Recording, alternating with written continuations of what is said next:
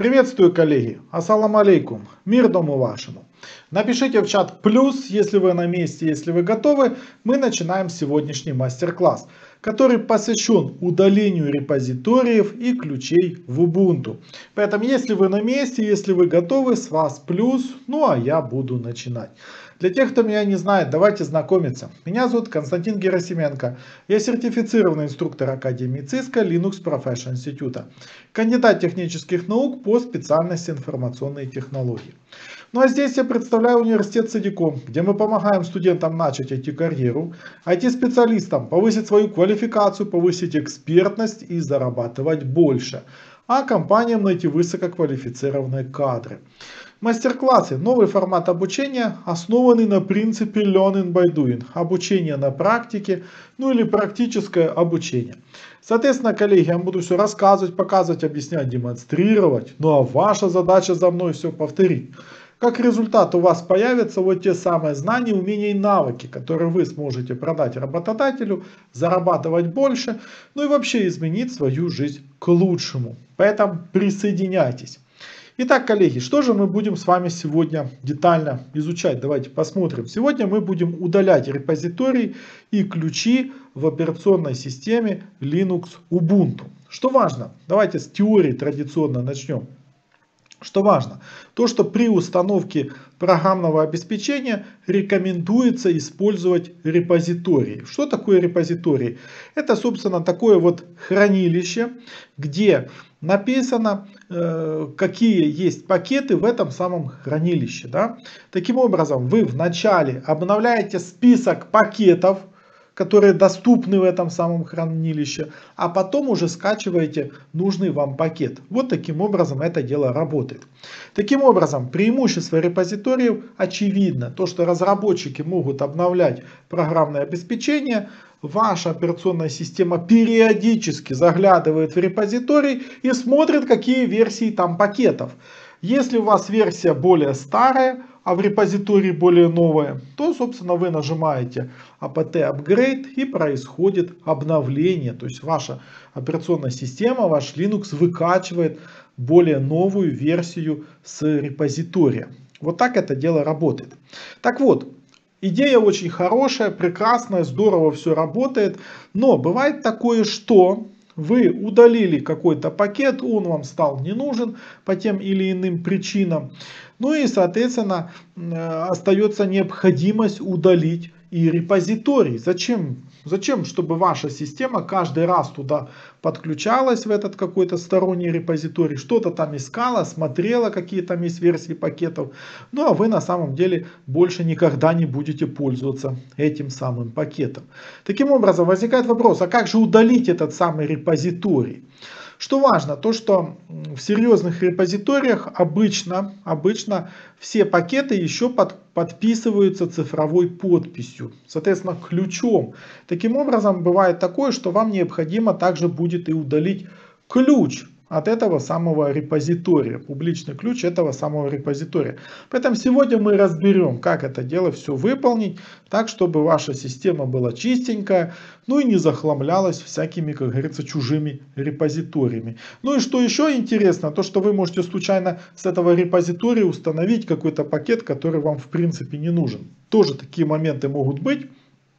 Вот, а потом искать, что он у вас не работает или работает как-то не так.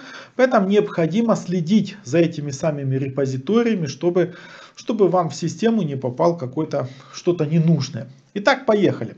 Значит, пациент, на чем я буду сегодня выполнять все буду выполнять. Это у меня будет Ubuntu. На самом деле версия неважно какая. А, вот у меня 20.04, но вы можете использовать какую-то свою версию. Э, в принципе команды будут аналогичны и для другой версии Ubuntu. Итак, поехали. Значит, что для нас первое важно? Значит, как, где хранятся а, вот эти вот самые репозитории, где это дело все можно посмотреть. Значит, это все можно посмотреть vim пробел слэш etk слэш apt и здесь есть такой файлик source list. И соответственно здесь вы можете посмотреть все репозитории, которые у вас вот доступны. Да, здесь не очень видно, сейчас я попробую. Так color, color схем. И попробую поставить какую-то э, да, так, э, десерт, десерт, какую-то цветовую схему, чтобы вам было лучше видно. Итак, значит, вот мы смотрим, какие здесь есть репозитории. А, в принципе, есть комментарии, да, то есть, что это за репозиторий. Ну и вот он раскомментирован и, соответственно, видно там, да, major, bug fix, updates, progress after final releases, да, то есть, вот, вот отсюда вытаскиваются вот эти major updates, да. Ну и вот листаем вниз и, соответственно, здесь вы тоже можете найти какие-то репозитории, которые вам, в принципе, как говорится, не очень-то и нужны. Значит, что я здесь себе нарыл, что я наоборот хочу отсюда удалить, коллеги. Значит, у меня на этом сервере стоял э, Microsoft SQL. Вы скажете, а что такое бывает, что для Ubuntu есть Microsoft SQL? Да, коллеги, есть, и поверьте, он даже работает. Так вот, я, собственно, потестировал э, всю эту, как говорится, связку, ну, удалил этот Microsoft SQL, а у меня вот осталось, собственно, э, вот, вот эти все репозитории. Поэтому, э, как удалять? Как удалять? Значит, первое, открываем файл, вот этот самый etk apt source, source.list и, соответственно, находим то, что нужно удалить. Соответственно, принцип удаления здесь, это я пытаюсь растянуть, чтобы все было в одну строчку. Принцип удаления здесь очень простой. Нажимаем в Vime DT, ну и, собственно, строка будет удалена. Есть вариант номер два, если вы будете возвращаться, то можно просто закомментировать. Да? То есть, вот, например, я могу это дело закомментировать все, ну или просто взять и удалить. Да? То есть, вариант удаления тоже, как говорится, существует. Итак, как удалить? В Vime это просто нажать DD, да, DD. И вот, пожалуйста, я удалил репозиторий Microsoft. Итак, осталось дальше сохранить этот файл. Нажимаем Escape, двоеточие Double, Escape, двоеточие Q. И, пожалуйста, я это дело сохранил. Это вот где может это все храниться. Дальше, еще один вариант, где вы должны проверить, вот репозитории могут храниться еще в отдельной папочке, которая называется etk apt source list.d. Итак, смотрим ls-l и смотрим etk apt source list.d. .d это папочка, нажимаем Enter. И что я вижу? Я вижу то, что здесь у меня есть вот такой вот файлик msprod.list. Вот это это опять-таки какой-то из репозиториев Microsoft. Ой-ой-ой, так, не получится, значит еще раз надо. А, хочу вам показать, что там внутри. Итак, давайте посмотрим, что там внутри этого файла. Ну вот, собственно, э, вот, вот такой вот ссылочка, да, dep, да, да, да, да, да, Ubuntu prod focal main, да. Собственно, что делать? Как это все дело от этого избавиться? Опять-таки, делаем команду rm rm, ну и дальше полный путь к этому самому файлу лист. А, вот, и, соответственно, если нажать Enter, rm, да, все, я его удалил. Итак, проверяем, есть это дело все или нет. Так, пожалуйста, уже у меня 0, 0, total 0 файлов. Да?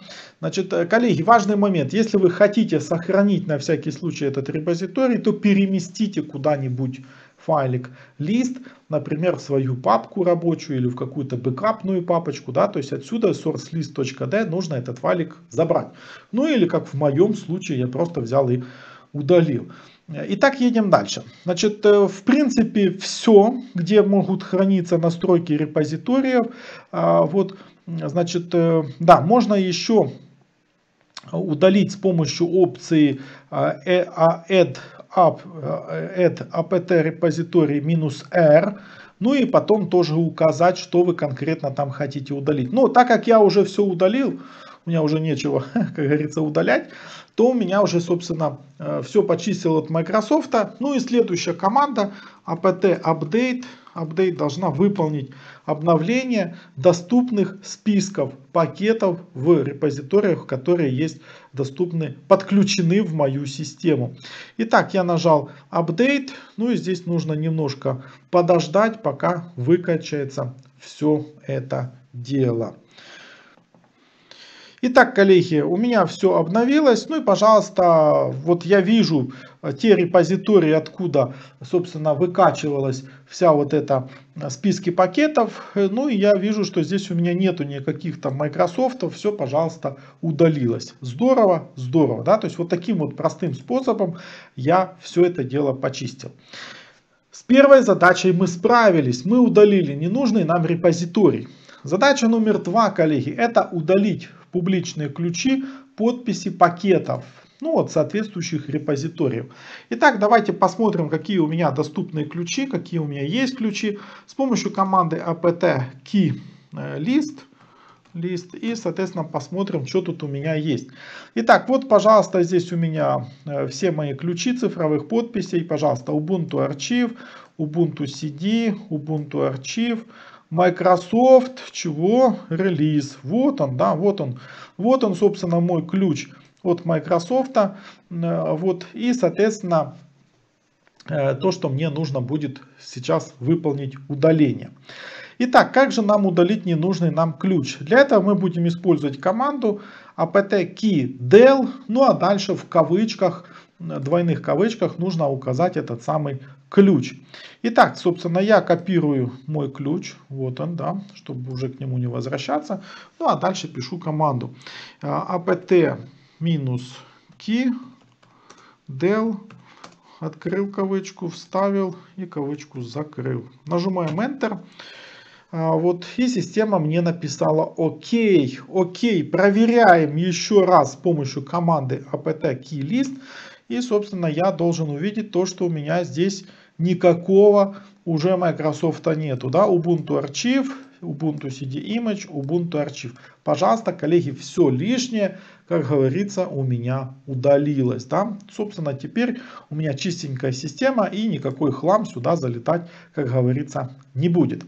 Дальше. Выполняем apt update, чтобы обновилось у нас все эти update, да, все у нас обновится и будет, как говорится, все все будет классно сделано. Вот, вот такой вот принцип, коллеги, удаления ненужных репозиториев и ненужных ключей цифровых подписей от этих самых соответствующих репозиториев. Итак, коллеги, если у вас есть вопросы, пожалуйста, задавайте, я с удовольствием на них отвечу. Пожалуйста, напишите в чат цифру 1, если у вас получилось, как у меня, все это дело выполнить. Да, забыл сказать, вот надо было в самом начале сказать, что я все делал по статье из блога. Ссылку на эту статью вы можете найти в описании этого видео, в чате. И таким образом тоже воспользоваться, собственно, этой самой статьей. Будет весьма-весьма полезно. Итак, коллеги, если есть вопросы, пожалуйста, задавайте. задавайте. А, кому сегодня, сегодняшний мастер-класс, кому был полезен, пожалуйста, оцените его лайком, вподобайкой или нравликом. Ну или просто поставьте палец вверх. Если для вас интересна тема Linux, сетей, кибербезопасности, программируемых систем, то мы вас приглашаем на курсы, где вы сможете систематизировать все ваши знания, разложить все это дело вот так вот по полочке в формате learning by doing, да, вот так вот не спеша все проделать. Плюс получите международные сертификаты. Ну и мы еще помогаем с трудоустройством в большие международные компании. Поэтому, коллеги, добро пожаловать тренируемся, движемся вперед, ничего сложного нету.